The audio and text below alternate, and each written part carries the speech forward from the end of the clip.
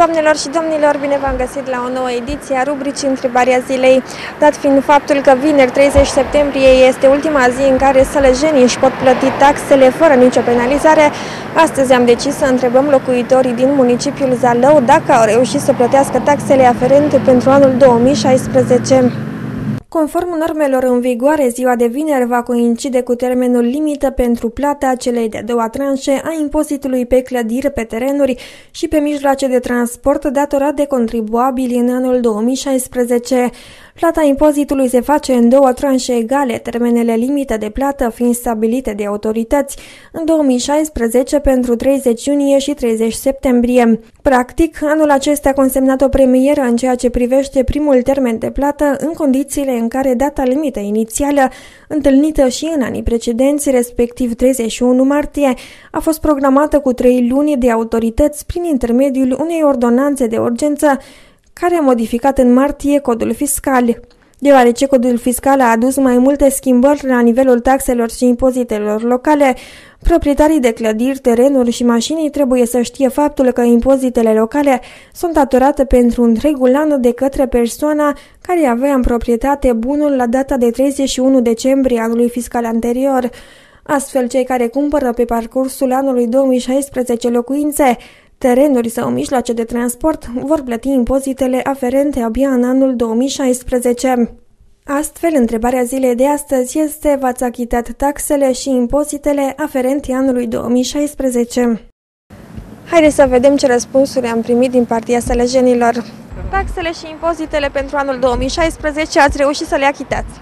Da, le-am achitat. Le-am achitat uh, până în 30 martie ca să am bonusul acela. Cum uh, vi s-au părut față de anul precedent? Păi nu, nu au crescut cu mult. Nu, nu mai țin minte, parcă cu 10%, dacă bine mi-aduc aminte, dar nu sigur. Deci vi se par în regulă taxele și impozitele nu vi se par nici prea mari, nici prea mici?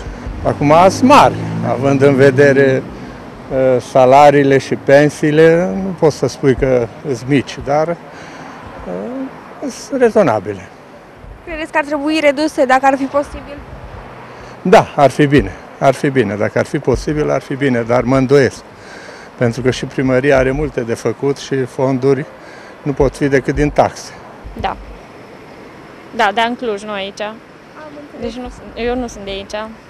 Cum vi se par comparativ cu anul trecut? A, nu știu, nu știu. Și impozitele pe anul 2016 le-ați achitat? L-am achitat. Uh, destul de târziu, pentru că să știți că să face o nedreptate. Anume? Uh, nu vreau să... Vi se par prea mari taxele? Prea mari. Deci nouă ni s-a mărit, uh, după câte am înțeles că lor, uh, cei care au a doua proprietate, a doua casă, au reducere.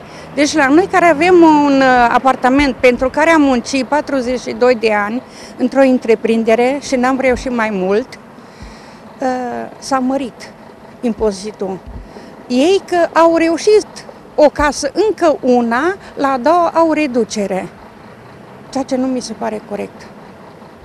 Credeți că ar trebui să plătească impozitul integral pentru ambele clădiri? Exact.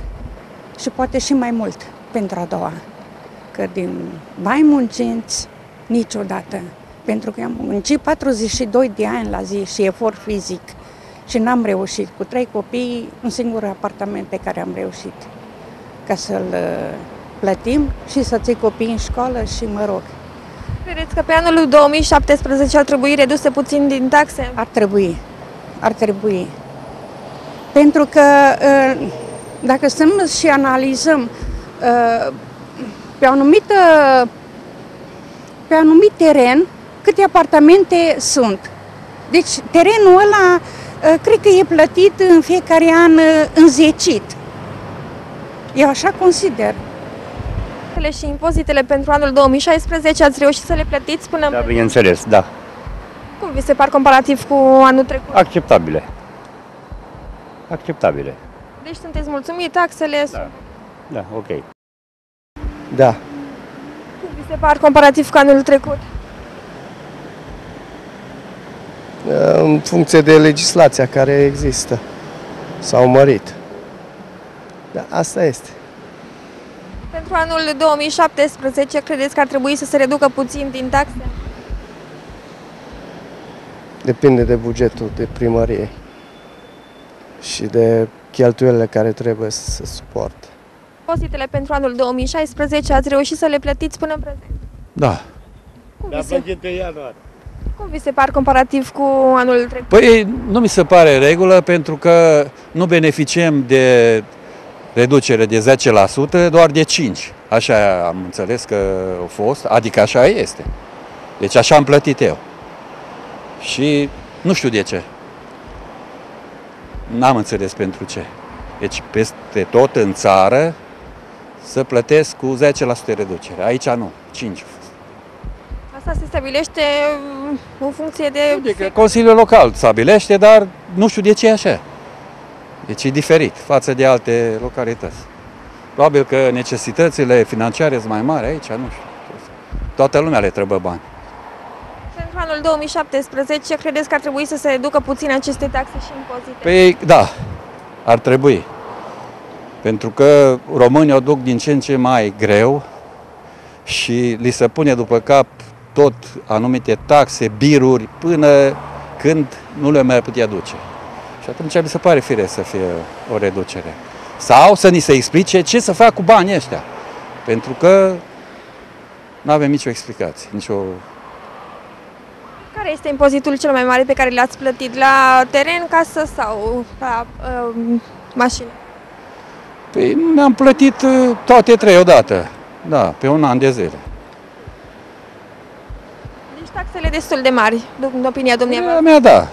Acum, dacă știți cum e, Consiliul consideră că trebuie să rămână așa, rămân, dacă nu, că au această posibilitate, să rămână sau să le mărească. Dar mi se pare nefiresc, datorită ținând cont de nivelul de trai pe care l-au toți românii, nu numai sărăjeni.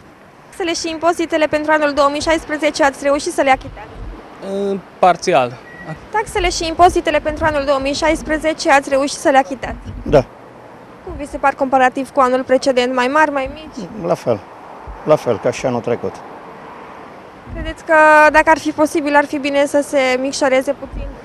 Ar fi bine ca să se micșoreze, că toate prețurile se aliniază la Uniune, dar salariile nu se aliniază acolo, așa că e o diferență mare. Deci sunteți nemulțumit uh, salariul comparativ cu taxele pe care trebuie să le plătim? Păi cam 70% din salariu merge pe taxe. Gaz, curent, întreținere, Credeți că ar trebui majorate și salariile puțin? Bineînțeles, dacă mergem spre Uniune, să fie raportul echivalent. Nu ne putem compara cu salariile noastre cu unul din Germania sau din Italia. Asta e. Doamnelor și domnilor, asta a fost totul pentru astăzi. Eu sunt Anca Olehus și vă mulțumesc pentru atenție. Până data viitoare, toate cele bune!